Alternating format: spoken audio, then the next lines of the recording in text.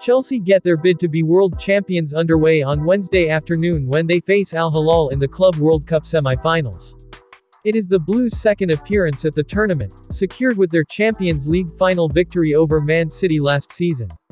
Back in 2012, Chelsea beat Monterrey in the last four but were then defeated by Corinthians in the final, a rare upset result in this tournament.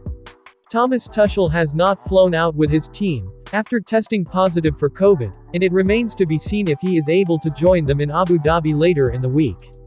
Al Hilal are managed by former Monaco boss Leonardo Jardim, and beat Al Jazira 6-1 on Sunday to set up a clash against Chelsea. Here's all you need to know about the semi-final match.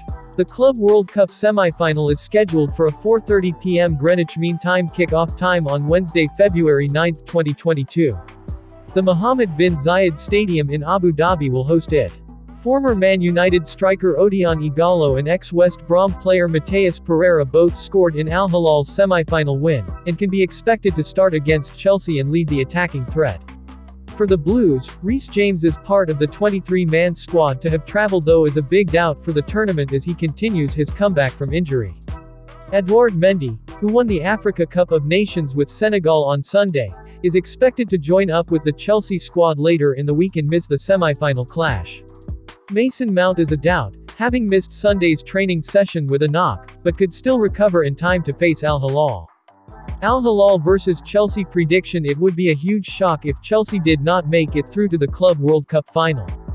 Al Hilal were impressive in their opening match but now face a huge step up in class, and the Blues should have more than enough to come through.